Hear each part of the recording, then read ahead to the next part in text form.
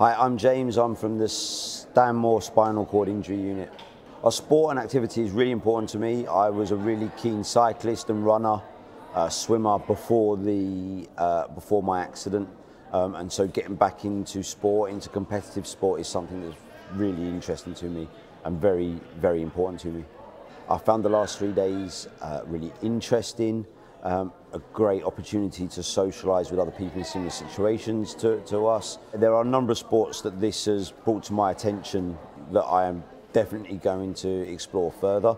Um, first of all would be uh, the wheelchair basketball, which has been amazing fun, and um, the triathlon. I know the triathlon team are here and they've mentioned to me about getting involved in triathlon, which is something I'm interested in doing.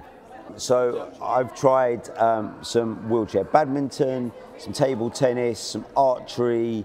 I've tried um, the hand cycles, um, some basketball, as I said before. Um, so yeah, it's been a pretty full-on three days. I'm sure I've forgotten some. It's been a pretty full-on three days that I've really, really enjoyed.